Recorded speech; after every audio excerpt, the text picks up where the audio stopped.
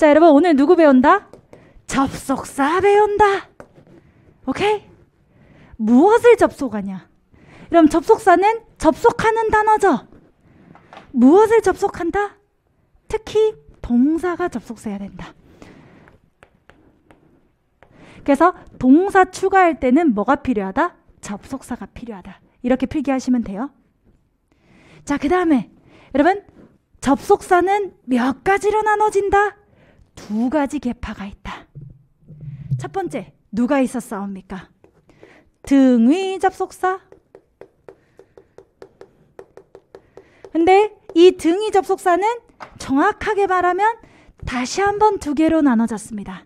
첫 번째가 일반적으로 여러분들이 알고 있는 일반 등위 접속사.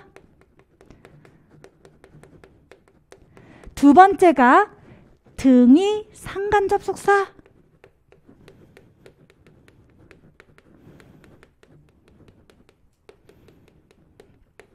이 두 가지가 있었어요.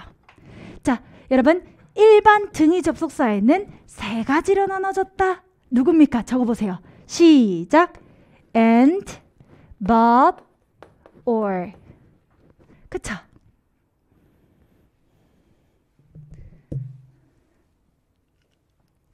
자, 등이 상관 접속사에는 여러분 쭉 적어주세요. 첫 번째, both A and B부터 시작하세요. 시작. Both A and B 이게 1번이죠. both A and B, A와 B 둘 다라는 뜻이고요. 자, 그 다음에 또 누구 있었습니까? either A or B. either A or B. A거나 B 둘 중 하나 either A or B. 있었죠? 여러분, 세 번째 C 누굽니까? either 부정. 시작. neither A nor B. neither A nor B. 체크하셔야 된다. 괜찮죠? 또 이번에는 not only A but also B가 있었죠. A뿐만 아니라 B도 not only A but also B but also B 여기에서 여러분 also 가로치세요. 생략됩니다. also는 생략 가능이에요. not only A but also B also는 생략 가능 only는 merely just only는 not only 말고 not merely M-E-R-E-L-Y merely not only 대신에 not merely 나와도 똑같은 표현이에요. 오케이? 또는 only는 merely just just로 바뀔 수도 있어요. just 적어보세요. just 제가 학교에서 교육학을 전공하고 여기 노량진에 와서도 교육학 수업을 계속 들었거든요. 어, 학습자한테 학습을 가르칠 때 가장 중요한 게 스키마타. 여러분들의 머릿속에 그 구조나 체계를 만들어주는 게 가장 중요하고 구조나 체계를 만들 때 가장 좋은 방법이 도식화 시키는 겁니다. 아, 접속사는 선생님이 동사 추가하는 거라 그랬지? 근데 접속사는 크게 두 가지로 나눠지지? 두 가지 중에서 첫 번째가 누구? 등위 접속사인데 등하, 등위 접속사는 두 가지 또 개파로 나눠졌지? 라고 하면서 체계를 갖추고 있어야 뭐가 좋냐면은 물건이 뒤죽박죽 있으면은 꺼내지를 못해요. 찾는데 시간이 걸려요. 근데 체계를 갖고 구분을 해두시면은 여러분들이 인출이라고 하거든요. retriever. 나중에 다시 꺼내었을 때 체계가 잡혀져 있으니까 아! 선생님이 and but or 등위 접속사 문제지 병치 구조만 확인하라 그랬지 끝 이렇게 하고 문제를 풀 수 있기 때문에 반드시 구조화를 시켜놓으세요. 오케이. 자 그래서 아 등위 접속사에는 일반 등위 접속사 뭐만 확인하면 된다. 별표 이제 쳐야 되죠. 병치 구조 확인. 단어 단어 구와 구 절과 절 병치 구조. 자 근데 얘는 더 길잖아. 얘는 더 길잖아. 그래서 출제 포인트가 얘도 기본은 등위 접속사라서 뭐가 중요하긴 하죠? 병치 구조가 일단 중요하기도 하거든요. 근데 얘는 길잖아. 그래서 뭘 물어보냐면은 얘는 지 짝꿍이 중요해. either A nor B 이렇게 써놓으면 된다 안 된다? 안 된다예요. neither A nor B는 되지만 neither A or and 다른 걸로 바꾸면 된다 안 된다? 안 된다. 지 짝꿍이 중요합니다. 자 그래서 뭐 확인한다 얘는 짝꿍도 맞춰야 돼요. 짝꿍. 누구 맞춘다? 짝꿍. 짝꿍 바뀌면 안 돼요. 보스 A or B 이런 거 없습니다. 보스 A 다음에 접속사 쓸 때는 누구 쓴다? and. 오케이? 괜찮죠? 자, 그 다음에 얘는 어디서도 중요하냐면 우리 이제 곧 배워요. 주어, 동사, 수일치에서도 중요합니다. 얘 뭐도 중요하다? 수일치도 중요하다. 얘가 주어 자리에 나오면 모스 A and B가 어디 자리에 나오면 주어 자리에 나오면 and B가 주어 자리에 나오면 A에 수일치 시켜야 돼요. B에 수일치 시켜야 돼요. 그런 거 없어 얘는 무조건 복수야. 복수 동사. 나머지는 B에 일치시키는 거예요. 보스 A and B는 뜻이 뭐죠? A와 B 둘 다죠. 그럼 두 개라는 거니까 얘는 무조건 복수 동사 쓰시는 거고요. either A or B, B의 스위치, nor B, B의 스위치, also B 다 어디에 스위치한다? B에 스위치한다. 이런 거를 근자의 원칙이라 그래요. 스위치할 때 동사랑 가까운 거에 스위치를 시킵니다. nor B에서 B가 더 가깝죠? 그래서 스위치할 때는 원래 동사와 가까운 걸 좋아한대요. 자, 그래서 B에 스위치한다. 자, 그래서 얘는 출제 포인트가 세 가지가 되니까 중요하다. 오케이, 좋습니다. 아, 오케이. 어, 등위 접속사 간단해. 등위 접속사는 두 가지 계파로 나눠지고 그냥 일반 등위 접속사는 일반적이니까 병치 구조만 확인하면 돼. 자, 근데 누구는 등위 상관 접속사는 상관을 나타내는 표현들이 추가가 됐기 때문에 자기 짝꿍 확인하시고 주어 자리에 나왔을 때 스위치 헷갈리겠죠. 왜? 두 개 다 있잖아. 그렇기 때문에 B의 스위치 주의한다. 단 누구 제외? 보스 A and B는 해석상 둘 다니까 무조건 복수. 끝. 자, 이제 여러분 누구로 들어간다? 종속 접속사. 자, 여러분 종속 접속사는 여러분들이 몇 가지로 나눴다? 세 가지로 나눴다. 몇 가지로 구분하셔야 된다? 세 가지. 몇 가지? 세 가지. 첫 번째, 문장에서 주, 목, 보 자리에 오는 접속사, 주어 동사. 이렇게 써보세요. 문장에 주목보 자리에 접속사, 주어 동사가 나온다면 이때 접속사는 우리가 명사절 접속사라고 부릅니다. 명사절 종속 접속사. 문장에 주어, 목적어, 보어 자리에 접속사, 주어, 동사가 나와 있다면 이때 이 접속사를 우리는 뭐라고 명명한다? 명사절 종속 접속사라고 부릅니다.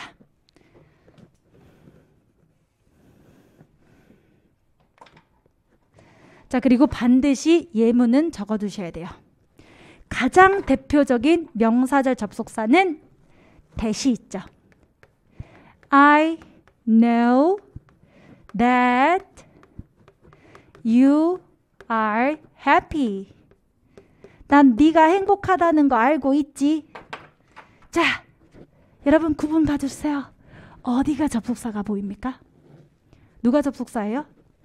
주어 동사를 추가해 주는 걸 우리가 뭐라고 불러요? 접속사라고 부릅니다. 자, 그래서 that 세모 딱 치세요. 앞으로 접속사는 세모. 자, 근데 얘가 하는 자리 체크하세요. 문장의 전체의 주어는 누구? I.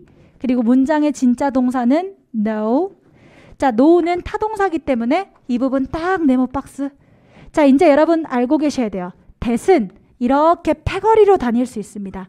that은 이렇게 주어 동사를 자기 한 식구로 묶어 가지고 이 전체가 무슨 역할이다? 명사 역할이에요. 근데 주어 동사가 있으면 우리가 이거를 절이라고 부릅니다. 단어 명사가 아니라 이제는 명사절이 된 거예요. 이렇게 하나의 패거리로 행동합니다. 나는 알아요. 뭘 알고 있다라는 거죠? 네가 행복하다는 것을 알고 있다. 이렇게 되는 거예요. 그래서 접속사는 홀몸이 아니에요. 전치사도 홀몸이 아니죠. 반드시 명사를 데리고 다니잖아요. 접속사도 마찬가지입니다. 뭔가를 접속하는 단어기 때문에 반드시 뒤에 패거리를 형성해서 다녀요. 그래서 여러분들이 해석하실 때도 주어 동사하고 절이 나면 절 하나로 묶어서 해석하시는 겁니다. 알겠죠? 오케이 좋습니다. 자 그래서 이때 나오는 that을 우리가 무슨 접속사라고 한다? 명사절 접속사라고 한다. 자 이제 퀴즈. 등위상관 접속사는 이렇게 개수가 정해져 있잖아. 명사절 접속사 몇 개가 될까? 대충 몇 개쯤 될 것 같아? 느낌. 자, up and down으로 해보세요. 세 개? up이다 down? 세 개? 이건 우리 바람이죠. 조금만 배우고 싶어요, 선생님. 세 개만 있었으면 좋겠습니다. 하지만 그렇지 않아요. 몇 개 배우셔야 되냐면은 다섯 가지가 있습니다. 명사절 접속사는 몇 가지가 있다?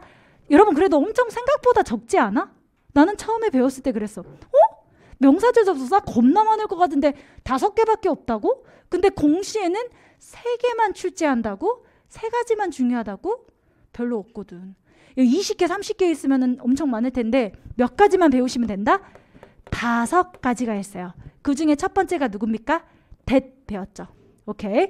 자, 여러분들이 이제 그러면은 명사절 접속사 다섯 가지에서 가장 중요한 거 세 가지 적을게요. 첫 번째 누구? that. 1번 누구? that. 알고 계셔야 되고요. that이랑 누구랑 항상 싸우냐면 what입니다. what. 명사절 접속사 what이라고 불러요. 누구? 명사절 접속사 what. 자, 그 다음에 whether, if. 누구? whether. 슬러시하고 if. that, what, whether, if 너무 중요합니다. that, what, whether, if 이 세 가지 종류의 것들이 뭐다? 명사절 접속사다. 문장의 주목보 자리에 that 주어 동사, what 동사, if 주어 동사 이렇게 나올 수 있죠. 오케이. 자, 그 다음에 여러분 두 가지는 누구냐면 써보세요. 의문사.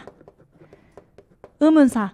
who, whom, whose, which, 그리고 when, where, why, how 다 안 적어도 돼요. 여러분들은 의문사라고만 적어두세요.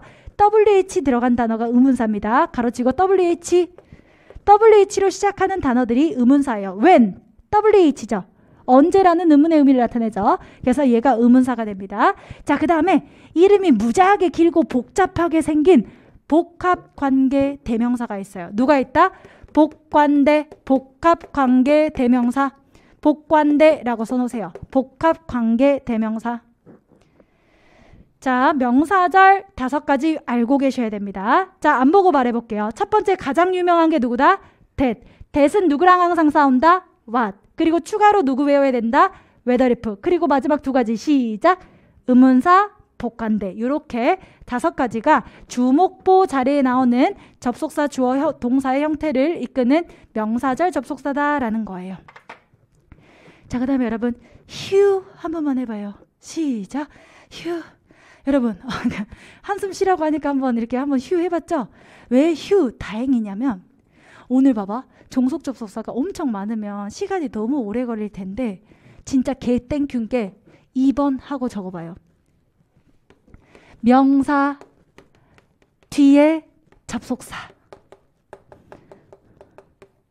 이 명사 뒤에서 명사를 수식해주는 접속사를 우리가 당연히 무슨 접속사? 형용사절 접속사가 되겠죠.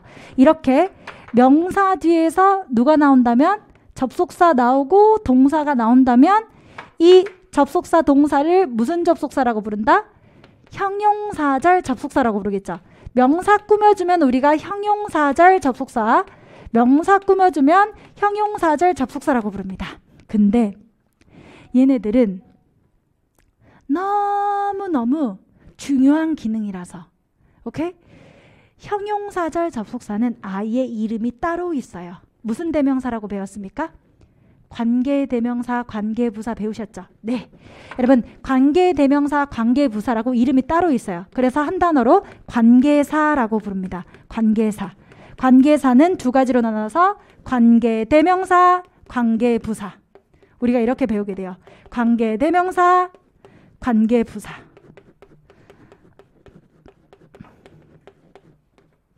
아, 오케이. 형용사절 접속사는 명사 뒤에서 명사 수식해줘.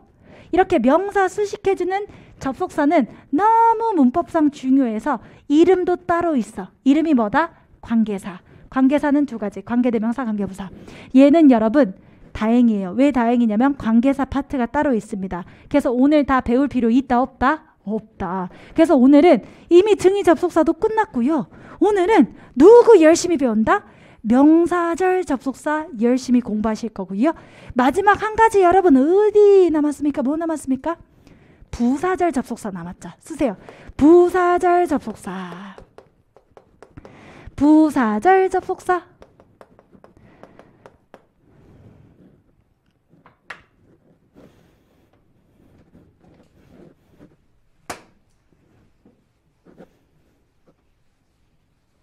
선생님, 그럼 부사절 접속사는 제가 어떻게 하면 좋을까요? 몇 가지나 됩니까?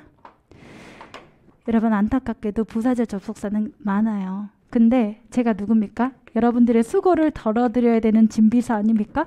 부사절 접속사는요. 일단 여러분들이 구조를 알고 계셔야 돼요. 부사절 접속사는 어떻게 나오냐면은 문장 처음에 나옵니다. 그래서 접 주동, 컴마, 주동 체크하세요. 첫 번째 부사절 접속사는요. 문장 처음에 이렇게 나올 때는 컴마를 찍고 나옵니다. 그리고 이제 주절. 접속사 없는 주어 동사를 주절이라고 불렀죠? 여기가 이제 부사절 접속사가 이끄는 접주동 이 부분. 이렇게 부사절 접속사가 문장 처음에 나올 때는 항상 컴마가 찍어져 있어요. 자, 그 다음에 두 번째. 어, 선생님 그럼 처음에 안 나오면 어떻게 돼요? 처음에 안 나오면 주어 동사 이렇게 쓰겠지. 그리고 여기에 누가 있다? 접주동이 나오겠죠? 이때는 컴마 안 찍습니다. 뒤에 나올 때는 안 찍어져요. 일단 부사절 접속사는 위치를 알고 계셔야 돼요. 이렇게 문장 처음에 접주동하고 커마 찍어져 있으면 얘는 누구다? 부사절 접속사다 이렇게 체크할 수 있고요. 자, 그 다음에 주어 동사 나오고 접주동 이렇게 나면 얘가 뭐다? 또 부사절 접속사다. 자, 말 그대로 부사절 접속사는 어디 자리? 부사 자리. 어디 자리? 부사 자리. 선생님, 이렇게 배우면 너무 힘든데 제가 이렇게 못 구분하면 어떡하죠? 생긴 거를 알고 있어야 될 것 같은데요. 자, 부사절 접속사는요. 일단 오는 자리가 중요하고요. 1. 뭐에 대해서 공부한다? 자리. 얘가 어디 자리에서 어떻게 오는지 알고 계셔야 되고 두 번째는 부사절 접속사를 구분하는 방법을 알고 있어야 돼요. 사실 부사절 접속사는 어떻게 구분이 되냐면 의미에 따라 구분이 됩니다. 뭐에 따라서? 의미, 해석. 의미에 따라서 구분이 돼요. 여러분 부사가 뭐냐면 시간, 이유, 조건, 양보 이런 추가적인 정보를 주는 거를 부사라고 부르거든요. 그래서 부사절 접속사는 1. 시간 A죠 A A 시간 시간을 나타내는 부사적 접속사가 있고요. 그 다음에 B 이유 때문에 이런 뜻을 나타내는 부사절 접속사가 있고요. 그 다음에 C 조건 만일 뭐뭐 한다면 이라는 조건을 나타내는 부사절 접속사가 있고요. 그 다음에 또 D 양보 비록 뭐뭐라면 이라는 뜻을 나타내는 부사절 접속사가 있습니다. 비록 뭐뭐라면 그 다음에 이또 어떤 접속사가 있냐면요. 목적이나 결과 목적 뭐뭐 하기 위해서 또는 결과 그래서 뭐뭐 하다 이런 식으로 부사절 접속사를 구분하실 때는 해석으로 구분하시면 됩니다. 시간의 부사절 접속사, 이유의 부사절 접속사, 조건을 나타내는 접속사, 양보를 나타내는 접속사, 목적을 나타내는 접속사, 결과를 나타내는 접속사 등등 여러 가지가 있으니까 요거는 구분을 해주시면 된다라는 거.